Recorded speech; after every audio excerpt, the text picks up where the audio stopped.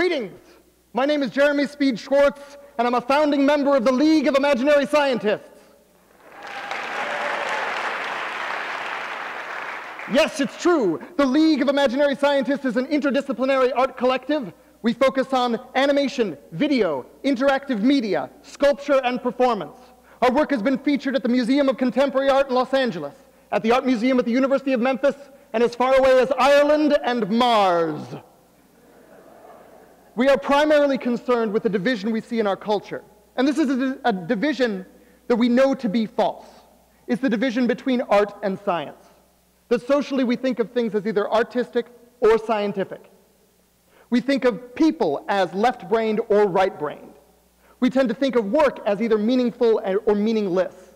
And all of this is not true. The League of Imaginary Scientists attempts to find the bridges that cross this gap, and when they don't exist, we build our own. We work collaboratively with artists and scientists in different disciplines. And when we work with artists, we ask them to incorporate scientific methodologies into their work. And when we work with scientists, we ask for the opposite. Beauty is truth, truth, beauty. We can restate this mathematically, it'll be simpler. Beauty is equal to truth, truth is equal to beauty, QED.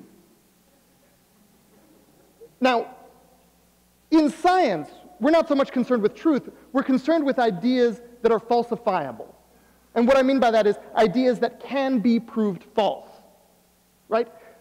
So the problem is that the truth can never be proved false. The truth is not falsifiable. And things that are not falsifiable in science are not important. And by this I mean you can't get a grant to study them. So if the truth is not falsifiable and the unfalsifiable is unimportant, through the principle of substitution, we arrive, therefore, that the truth is therefore unimportant. QED. Now follow me here, this is where the math gets difficult. If truth is equal to beauty and truth is unimportant, through the principle of substitution, once again, we find, therefore, that beauty is unimportant. QED. And this, as an artist, is extremely freeing, right? If beauty is unimportant, then we're free to make all sorts of wonderful, horrible things. And the opposite, the reverse, is also just as true. The unimportant is beauty. So what this means is that maybe the things we might overlook, the things we might exclude from our data, the aberrations, might be where beauty lies. And this is especially pressing when we're approaching this era where we don't know what an expert is anymore where instead of singular expertise, we're flooded with a numerous number of unimportant, unfalsifiable truths. Dr. Stevens, please roll the first clip. Yes, it's true. The League of Imaginary Scientists has come to Earth's Buffalo, New York to answer unfathomable queries and jury rig your understanding of everything. Where once you were ignorant and uncultured, you will soon gain untold knowledge at the capable hands of the League of Imaginary Scientists. As the universe's only imaginary science collective, the League has traversed wormholes, re engineered entropy, and dived onto the very surface of Mars. Artists don lab coats and write equations, while genuine doctors run naked and write haikus. The unexpected results of these experiments serve as launching points for all collaborators involved and become points of reference for a society rapidly redefining expertise. The League of Imaginary Scientists, expanding your understanding. Yes, it's true. The League of Imaginary Scientists works in two different kinds of collaborations collaborations with artists and collaborations with scientists. When we collaborate with artists, we ask them to examine the scientific and artistic mythologies that they work in, and sometimes invert them. So, for example, I mentioned before that in science they're looking for ideas, hypotheses that are falsifiable, that can be proved false. In the arts, we often start from a point of view of our own experience or our point of view, things that can never be proved false. It, the League of Imaginary Scientists starts from ideas we already know to be false, and then we make up the data to support that. So, for example, there are wormholes in the fabric of the universe, and these wormholes are created and maintained by gigantic, time altering, intergalactic worms. And in order to travel these wormholes, you have to be screened to ensure you have the appropriate weaponry, sharp objects, and large bottles of undefined liquids in order to fight off these giant, man-eating, dangerous annelids. And this was the uh, starting point of Wormholes, a piece we did at the Museum of Contemporary Art in Los Angeles in 2011, where visitors to the museum space were prodded and quantified and measured and abused, and then some of them were allowed to travel through our wormholes to different times and spaces. And this is one of the mythologies we like to examine, this idea that scientific advancement is fundamentally utilitarian, that when we discover something new in science, something as esoteric as wormholes in the fabric of space, whatever that means, that it's going to provide us, our society, our culture, some kind of benefit, that it's going to change us personally. When, in fact, we know that most of the scientific advancement that's happening right now is not likely to affect us at all. In the 20th century, there was a movement towards what's called process art, where artists started to say that the process of making art was more important or as important as the final product. But they started exhibiting the process as product. Now, in imaginary science, we take this one step further, and we exhibit the experiment as product. And this is the basis of another piece we did at the Museum of Contemporary Art, the Zephyr Experiment, where we invited gallery visitors to build flying and floating machines based on their aesthetic understanding of air travel. Without any instructions from us, we put a framework, gave them materials, and they constructed things, and then we launched them. And most of them were abysmal failures. In fact, almost all of them were abysmal failures. But that's okay. In fact, that's great.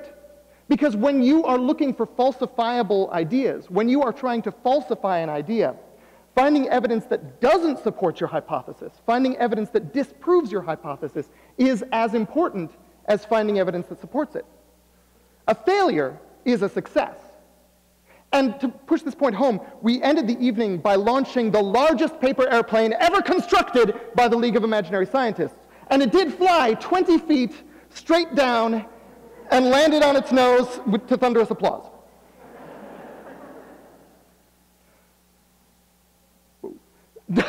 Dr. Stevens, please roll the next clip. Yes, it's true. The League of Imaginary Scientists can evolve you.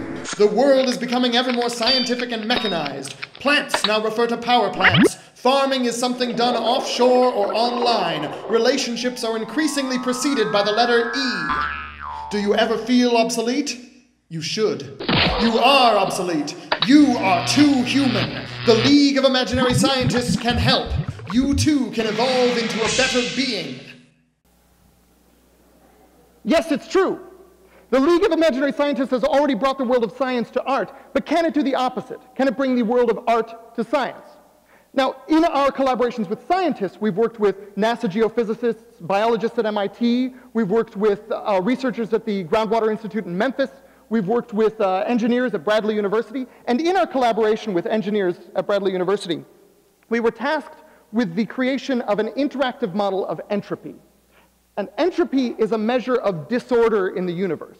It tells us the flow of time. It tells us the direction of time by saying that in the future, things break down. Things have a lower energy state.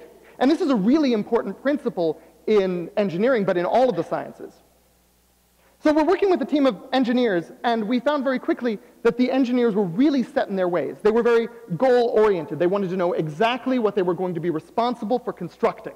They wanted to know that from the beginning. And the artists we were working with as well kind of were against this, that they wanted to make sure that there was room for experimentation, that there was room for, uh, for improvisation at the end stages. They didn't want to set anything in the conceptual phase that would um, break the later phases. So there were some engineers that kind of bridged this gap. You can see above me Dr. Zietlow wearing his entropy suit. Um, the helmet actually does cause and measure disorder. But most of the engineers were very adamant on that side, and the artists were adamant on the other side. We had reached an impasse. And so the engineers suggested this tool that they use in engineering. It's called a Pugh matrix. And the Pugh matrix works like this. On one side, you put all of the project ideas you have, and then you rate them on a number of different scales. So in this particular project, we were concerned about things like cost and the ease of construction. The engineers also threw us a bone, and they put in a column for aesthetics, how pretty it is. So um, everybody in the group rates each project based on these scales, and then you average those scales and you add them up, and the project with the most points wins.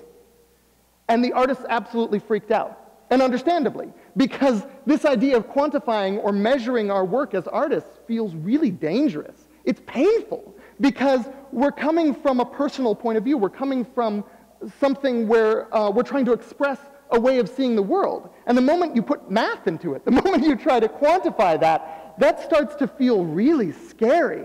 And we were scared as well. It wasn't just the other artists we were collaborating with. And as soon as we started to feel that fear and that pain, we said, then we have to use it. If this is a tool that is going to scare us this much, if this is something that's going to cause us this much pain, I mean, it must be necessary. Let's give it a try. So we did. And uh, we used the Pugh Matrix, and we actually ended up printing this out in large size and installing it in the gallery. We printed out the Pugh Matrix, and we, we uh, perverted it a little bit. We ended up doing all of the projects and aligning them to the Pugh Matrix and allowed the gallery visitors to decide which ones were most effective or which ones were the cheapest or most easy to construct or the prettiest. So as artists, we also tend to look for dramatic points. We tend to find what's the most exciting part of idea and how do we mine that or expand it or blow it up into this huge project. And uh, when we were collaborating with the uh, Groundwater Research Institute at the University of Memphis, we were told that they had an old landfill that had started to leach into the aquifer, that there was pollution going from this landfill into the groundwater supply. And as artists, we thought, this is fantastic, right? You can do a project so easily about this kind of alarmist sense of there is pollution in the groundwater. It takes 40 years when it gets seeped in. 40 years later, you pump it back up and you drink it. This is dangerous. Everybody freak out. This is dramatic. It's exciting. So when we arrived in Memphis and started talking to the people at the Groundwater Institute, we found out very quickly that the ratio of leachate, of pollution, to water in the aquifer was so tiny. It was almost homeopathic. There was almost none of it in there. If you were to fill up any glass of water, you wouldn't actually get any of this pollution. It was completely harmless. And to represent it as otherwise would be a perversion of their research. So we reformed our idea. We went back and we said, okay, if it, it, takes about 40 years from when these things go into the aquifer to when it gets pumped up, what if we use the aquifer like a time capsule? And we invite gallery participants to come in and say, well, what kinds of ideas or things or pollution would you like to have in the future? What kinds of pollution would you like to send your descendants? What kind of pollution is coming to us from 100 or 200 or 3,000 years ago? So I talk a lot about the way that uh, the sciences affect our work as artists. And we gain a lot from it. We gain new perspectives, we gain new ideas, ways of conceptualizing, um, and totally new ways of going about projects. But what about the reverse? What do the scientists that we work with gain from these kind of collaborations? I mean, we're not very good at being a mouthpiece to their research. A lot of the times we don't understand it fully. Um, and besides that, we're changing things around, trying to make it more dramatic, trying to make it more exciting. Um, and really, if they wanted the publicity, they should be publishing in reputable journals. but we're nearing what has been called the end of expertise. And this is a time when knowledge, rather than being concentrated, gets dispersed. That the means of finding information, the research tools, the data, rather than being accessible only to a few, is accessible to all of us. It starts to blur the lines between what it means to be an amateur and a professional. And the arts have already dealt with this. Technologies like the camera, technologies like the computer in the arts already blurred this line between what it means to be an artist and what it means to be a professional. And the way that artists dealt with this primarily was to start looking at their methodology, to question what it meant to be an artist, and to start bringing in methodologies from other disciplines. Things like how do you involve dance in painting? How do you involve music in sculpture? Eventually, how do you involve anthropology in your painting or in your sculpture? And so here's my hypothesis, and I pose this to all the scientists I work with, and I'm going to pose it all to you.